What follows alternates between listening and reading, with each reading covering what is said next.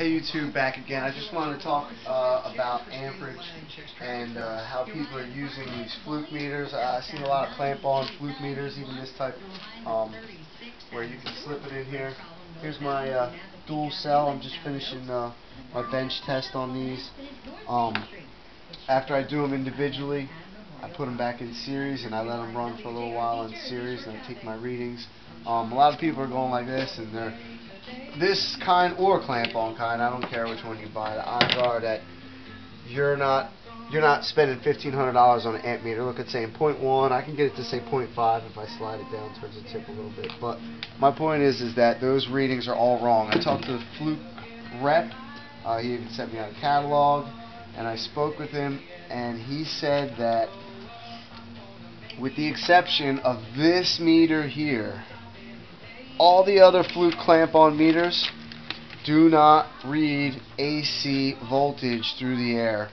So all these meters I see you guys using out there to show your uh, amperage with uh, are giving false readings. They're only meant they're only meant to read AC amperage through the air, not DC. So unless you're spending $1,500 on this one here, which um, odds are you're not, your amperage readings are wrong unless you're going in line. and to do that in series, to put your amp meter right in series with your circuit to see what it's doing, you have to turn the circuit off.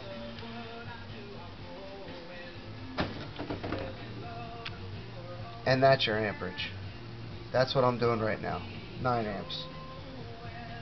Which is a correct reading because this is my circuit. This is make complete my circuit. I take it off and it stops bubbling because that's the only way you're going to get a, a, correct, true reading. I mean, they, they make some nice digital uh, inline amp meters.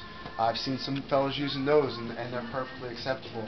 If you're going to use something like this, you know, you might as well just guess at what your amperage is. So, um, other than that, uh, this is DHC, and we're out.